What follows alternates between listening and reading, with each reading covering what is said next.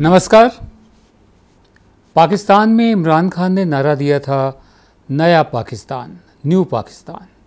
यहाँ पर हमारे प्रधान सेवक ने नारा दिया था, न्यू इंडिया, नया भारत। अब ये नया भारत जो उभर कर सामने आ रहा है, इसकी तस्वीर डरावनी है और ये बताता है कि आने वाले साल किस तरह से हो सकते हैं। चाहे वो अर्थव्यवस्था की बात हो, रोज़गार की बात हो इंडस्ट्री की बात हो, जो पूरी हमारी माली हालत है, उसकी बात हो, उसके अलावा जो हमारा सामाजिक ताना बाना है, उसको तोड़ने की बात हो, उसको नुकसान पहुँचाने की बात हो लिंचिंग की बात हो, इससे पहले लिंचिंग हमने नहीं देखी थी इस तरह की, कि गाय के नाम पर लिंचिंग कर दो, किसी को मुसलमान होने के नाम पर ही उसको पीट पीट कर मार डालो। क्या यही नया भारत हम चाहते हैं? हम्म? मैं किस्सा बयान कर रहा हूँ। एक साहब हैं। आकाश विजय वर्गीय आकाश विजय वर्गीय एमएलए हैं इंदौर से हैं और वो एमएलए इसलिए हैं क्योंकि उनके पिता कैलाश विजय वर्गीय भारतीय जनता पार्टी के जनरल सेक्रेटरी हैं और एक दबंग नेता हैं। बंगाल में जब भारतीय जनता पार्टी की जड़ें जमाने का काम आया ये काम उनको सौंपा गया और उन्होंने उसे बखूबी निभाया भी।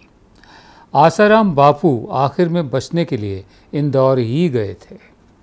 मैं भी इंदौर गया हूँ, काफ़ी दफ़े गया हूँ। मैं जानता हूँ कि कैलाश विजय वर्गीय का प्रभाव वहाँ पर कितना है।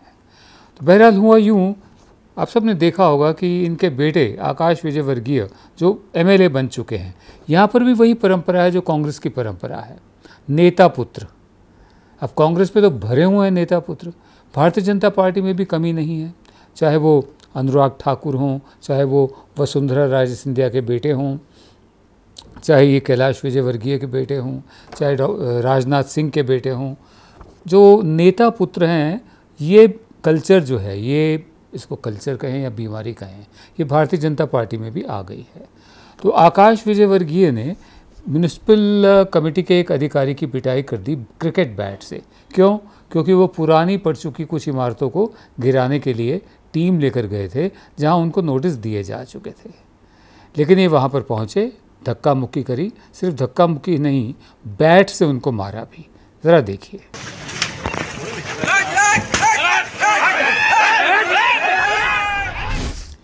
उसके बाद जब इनको गिरफ़्तार किया गया तो शायद इनको गुरूर रहा होगा कि पापा बचा लेंगे, लेकिन पापा बचा नहीं पाए।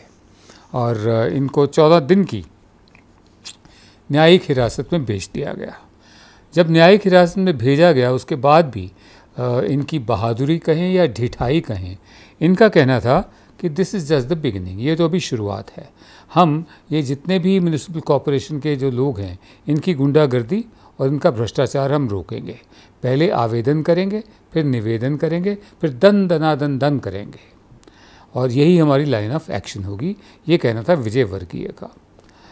म्यूनसिपल जो कमीशन है वहाँ की म्यूनिसिपल म्यूनसिपल कमेटी जो है इंदौर की, उसने अपने ही 21 जो मुलाजिम हैं, जो कर्मचारी हैं, उनको भी निलंबित कर दिया सस्पेंड कर दिया है, क्योंकि वो इनके साथ खड़े हुए दिखाई दिए, बजाय इसके कि अपने अफसर के साथ खड़े होते।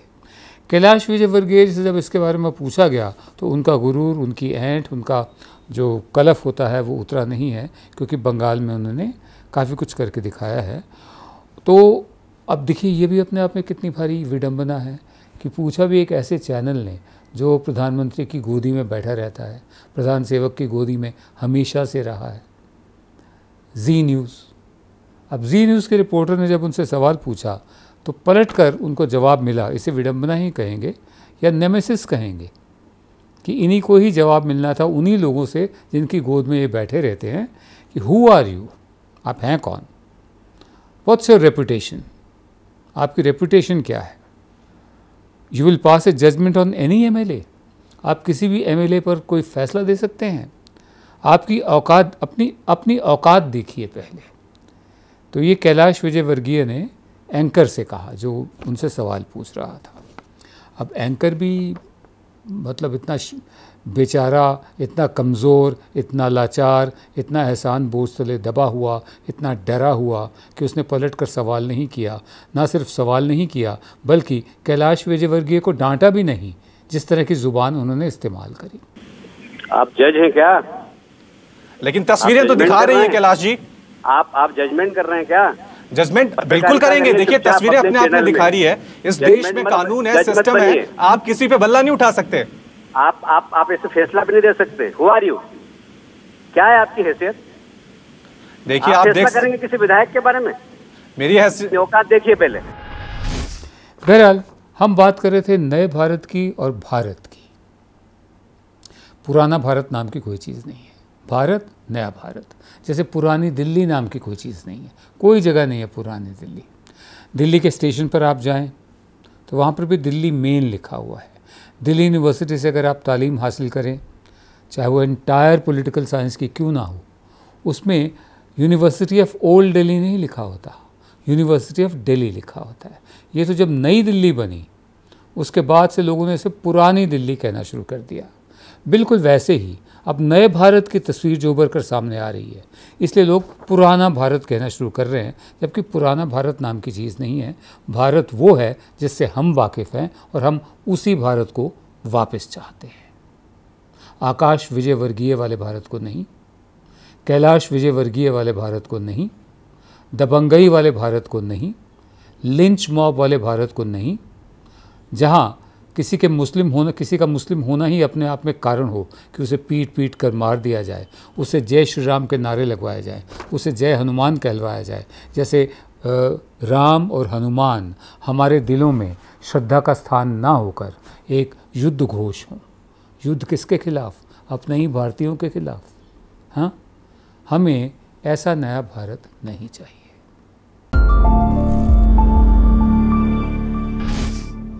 मैं ये नहीं कह सकता हूँ कि एक ज़माना था, वो ज़माना आज भी है, जब रूस में राज कपूर के गीत गाए जाते हैं। आवारा नाम की फ़िल्म उसके गीत गाए जाते हैं। वहाँ पर अभी भी भारतीय फिल्मी सितारे बहुत मशहूर हैं। मिठुन चक्रवर्ती तक मशहूर है वहाँ पर। ठीक है? रूस से हमारा बहुत पुराना नाता रहा है, बहुत पुराना रिश्ता रहा है, आजमाई हुई दोस्ती रही है, रूपी रूबल ट्रेड रहा है, बराबरी के स्तर पर। ठीक है? 20 साल की हमने उनके साथ संधि भी एक साइन की थी, रक्षा संधि, रक्षा समझौता, सन इकहत्तर की जंग से पहले। जब बांग्लादेश बना था, ईस्ट पाकिस्तान नहीं रहा था, बांग्लादेश बना था, तब अमेरिका ने अपना एक जंगी जहाज़ी बेड़ा एयर एयरक्राफ्ट कैरियर था यूएसएस एंटरप्राइज बाकी जहाज़ों के साथ भेजा था, क्योंकि जब एयरक्राफ्ट कैरियर चलता है तो वो अकेले नहीं चलता। उसके साथ क्रूज़र भी चलते हैं डिस्ट्रॉयर भी चलते हैं फ्रिगेट्स भी चलते हैं सप्लाई शिप्स भी चलते हैं, पूरा वो बेड़ा होता है। तो वो बेड़ा भेज दिया था बे ऑफ़ बंगाल में, बंगाल की खाड़ी में, हमें धमकाने के लिए। तो श्रीमती इंदिरा गांधी प्रधानमंत्री थी, वो नहीं डरी। और क्योंकि एक रक्षा संधि भी थी रूस के साथ। और रूस ने सीधा साधा संदेश दिया था अमेरिका को कि तुम्हारे जंगी बेड़े के चारों तरफ़ हमारी पनडुब्बियाँ रहेंगी। तो ज़रा होशियार रहना, कोई गलत कदम मत उठाना। लेकिन वो सन इकहत्तर का ज़माना था, वो मिसेज इंदिरा गांधी का ज़माना था, वो उनकी हिम्मत, उनकी ज़रूरत का ज़माना था। आज ज़माना है नरेंद्र मोदी का, और आज ज़माना है कि रूस और चीन और पाकिस्तान इकट्ठे होकर एक ग्रुप बन रहे हैं और हमने खुद को अलग थलग कर लिया है और हम अमेरिका की शरण में जा रहे हैं। बहरहाल, अभी हाल ही में हमने थोड़ी सी रीढ़ की हड्डी दिखाई है, वरना हमने सब कुछ मानना शुरू कर दिया था। अमेरिका की गोद में बैठना बाकी रह गया था। हाल ही में क्या हुआ है कि आजकल ओसाका में, जापान में एक समिट चल रहा है, जी ट्वेंटी समिट। जो 28 जून से शुरू होगा और उम्मीद है कि डोनाल्ड ट्रंप और प्रधान सेवक मोदी की आपस में एक साइड लाइंस में मीटिंग होगी, जिसको औपचारिक नहीं माना जाता साइड लाइंस में माना जाता है, और उसमें कुछ बातें उठाई जाएँगी। बातें क्या हैं कि अमेरिका ने हम पर कुछ हिदायतें लगाई हैं, कुछ रोक लगाई हैं, कुछ सैंक्शंस लगाई हैं कि हाँ एक तो हम ईरान से तेल खरीदना बंद करें हमने उनकी बात मान ली है, हुक्म मान लिया है, ईरान से तेल खरीदना बंद कर दिया है। जबकि ईरान से हमारे रिश्ते सदियों पुराने हैं, जब अमेरिका वजूद में भी नहीं था। रूस अमेरिका को एतराज़ है कि हम एस फोर हंड्रेड नाम का मिज़ाइल सिस्टम रूस से क्यों खरीद रहे हैं? उसके बदले में वो अपना मिज़ाइल सिस्टम बेचना चाहते हैं। लेकिन हमने ये स्पष्ट कर दिया कि नहीं, हम अपने हिसाब से चलेंगे। यहाँ रीढ़ की हड्डी दिखाई है, ईरान के मामले में अभी तक नहीं दिखाई है।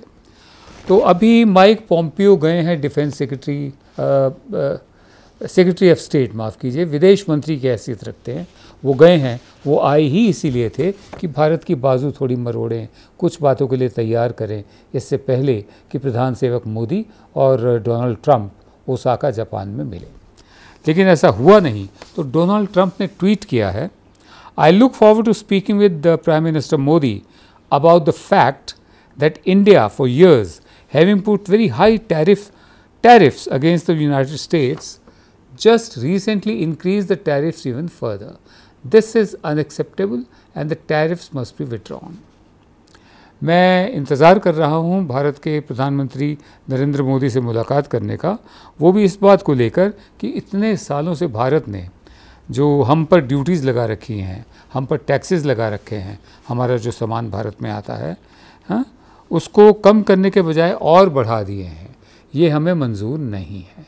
और ये जो ड्यूटीज़ लगाई हैं, इनको विड्रॉ किया जाए, इनको वापस लिया जाए। देखना बाकी है कि प्रधानमंत्री वहाँ पर क्या रीढ़ की हड्डी दिखाते हैं और जो जवाब माइक पॉम्पियो लेकर गए हैं यहाँ से, वही जवाब उनको देते हैं कि नहीं, हमारे हित हमारे लिए सबसे पहले हैं। जैसे अमेरिका के हित अमेरिका के लिए सबसे पहले हैं।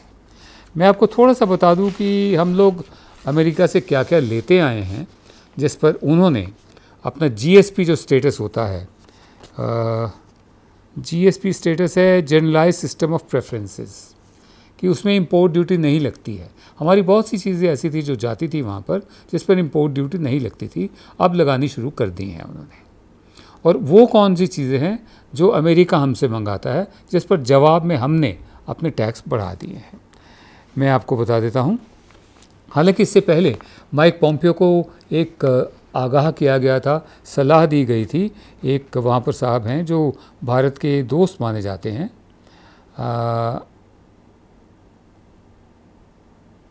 उनका नाम है इलियट एंगल। एंगल साहब ने यह कहा था कि there is a growing view the administration is attempting to coerce India into complying with US demands on a variety of issues rather than negotiating with them as a strategic partner कि अमेरिकी सरकार में ऐसा महसूस किया जा रहा है, प्रशासन में ऐसा महसूस किया जा रहा है कि भारत को बहुत से मुद्दों पर दबाव बनाया जा रहा है भारत पर। उसकी बाजू मरोड़ी जा रही है। बजाय इसके कि बराबरी के स्तर पर किसी पार्टनर से बात हो, उसका हाथ उसकी बाजू मरोड़ी जा रही है। तो माइक पॉम्पियो इस बात का ध्यान रखे। उन्होंने ध्यान नहीं रखा, उन्होंने अपनी शर्त रखी, हमने मंजूर नहीं करी। मैं आपको लिस्ट बता देता हूँ। हमने जिन अमेरिकी सामान पर अपनी ड्यूटी बढ़ाई है, कि अगर आप इंपोर्ट करेंगे तो हम ड्यूटी बढ़ा रहे हैं, उसमें एक तो अखरोट हैं। अखरोट की ड्यूटी पहले 30 परसेंट हम लगाते थे, अमेरिकी अखरोट की, अब हमने बढ़ाकर 120 परसेंट कर दी है। फिर छोले जो होते हैं, और चना जो होता है, बंगाल ग्राम, और मसूर दाल, ये 30 परसेंट हम ड्यूटी लगाते थे, वो हमने 70 परसेंट कर दी है। उसके अलावा जो बाकी दालें हैं उस पर 40 परसेंट ज़्यादा बढ़ा दी है हमने ड्यूटी। इसके अलावा बोरिक एसिड है फिर फाउंड्री मोल्ड्स हैं साढ़े सात परसेंट ड्यूटी हमने उन पर बढ़ा दी है। और साथ ही साथ नट्स कलपुर्जे ठीक है? उसके अलावा लो, लोहे और स्टील की कुछ चीज़ें बनी हुई। उसके अलावा एप्पल्स सेब अमेरिकी सेब अमेरिकी बबू गोशा नाशपाती फिर उसके बाद flat roll products of stainless steel steel की जो शीट्स होती हैं उन पर। और alloy steel tube pipe fittings screws bolts and rivets हमने इन सब पर ड्यूटी बढ़ा दी है। जो सामान हम मंगाया करते जो अमेरिका हमसे मंगाता था उसका भी मैं आपको बता देता हूँ जिस पर उन्होंने जो पहले हम फ्री में ऐसे बिना किसी ड्यूटी के भेजा करते थे आ, उस पर भी अमेरिका ने जो ड्यूटी लगाई है, मैं आपको वो लिस्ट भी बताता हूँ। लेकिन साथ ही साथ हमने अमेरिका को वर्ल्ड ट्रेड ऑर्गेनाइजेशन में भी घसीट लिया है कि इंपोर्ट ड्यूटीज़ जो हैं, स्टील और एल्यूमिनियम पर, वो बहुत ज़्यादा हैं, वो हम पर लगाई गई हैं। India export steel and aluminium products worth about U S D one point five billion मतलब एक पॉइंट पाँच बिलियन एल्यूमिनियम प्रोडक्ट्स और स्टील प्रोडक्ट्स जो एक्सपोर्ट करता था पहले, ड्यूटी नहीं लगती थी, अब ड्यूटी लगती है। अब देखना, ये है कि जब 28 तारीख को हमारे प्रधान सेवक और अमेरिका के डोनाल्ड ट्रंप मिलते हैं तो क्या सिर्फ़ जफ्फी डालकर मिलते हैं और सब मामले सुलझ जाएँगे? या ये हार्ड कोर हार्ड कोर फैसले हैं कि उन्हें, उनके हितों की परवाह है अमेरिका को, जैसे कि होनी चाहिए। हम अपने हित कितनी परवाह देखते हैं? हमने एक जगह तो अपनी कमज़ोरी दिखा दी है कि ईरान का तेल हमने बंद कर दिया है। ईरान से तेल लेना बंद कर दिया है अमेरिका की हिदायत पर। अब देखते हैं कि जो मिज़ाइल सिस्टम है एस फोर हंड्रेड, उसके बारे में कल क्या फ़ैसला होता है? या कल क्या उभर कर सामने आता है? वैसे जो चीज़ें हम भेजा करते थे अमेरिका को, वो हैं organic chemicals, machinery and mechanical appliances vehicles, articles of iron steel, plastic और आर्टिकल्स, प्लास्टिक के आर्टिकल्स थोड़ी सी कुछ बिजली की मशीनरी और इक्विपमेंट और चमड़े की बनाई हुई कुछ चीज़ें, रबड़ की बनाई हुई चीज़ें और स्टोन प्लास्टर सीमेंट और इसी तरह का मटेरियल फिर फर्नीचर बेडिंग कुशंस हम इस तरह की चीज़ें एक्सपोर्ट करते थे। बिना किसी ड्यूटी के उस पर अमेरिका ने ड्यूटी लगाई, जवाब में हमने ड्यूटी लगा दी है। अमेरिका ने हमसे कहा ईरान का तेल बंद करो। हमने बंद कर दिया ईरान से लेना। अब वो कह रहे कि रूस से मिज़ाइल मत खरीदो। देखना ये है कि इस पूरे इलाके में हम अपने पड़ोसियों के साथ बना कर रखते हैं या सुदूर अमेरिका की गोद में बाय रिमोट बैठने की कोशिश करते हैं। रूस हमारा साथी रहा है। चीन सबसे ज़्यादा व्यापार हम चीन के साथ कर रहे हैं। पाकिस्तान बीच में रोड़ा ज़रूर अटकाता आया है। लेकिन क्या हमने यहाँ रहना है? हम अपने पड़ोसी नहीं बदल सकते। ना ही हम अपने देश की लोकेशन चेंज कर सकते हैं। हमें किसके साथ जाना है? किसके साथ रहना है?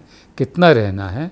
देखना ये ज़रूरी होगा कि प्रधान सेवक कितनी दूरदर्शिता दिखाते हैं या यूँ कहें कि प्रधान सेवक के जो एडवाइज़र्स हैं, जो इन बातों को समझते हैं, जो ये जानते हैं कि सिर्फ़ जफियाँ डालने से डिप्लोमेसी नहीं होती, वो उनको क्या सलाह देते हैं और हम किस हद तक अमेरिका के साथ जाते हैं और किस हद तक हमारे रिश्ते जो पूरी तरह से ठीक नहीं हैं, ना ही रूस के साथ, ना ही चीन के साथ, ना ही पाकिस्तान के साथ, हम कैसे दुरुस्त करते हैं? देखना ये होगा। नमस्कार।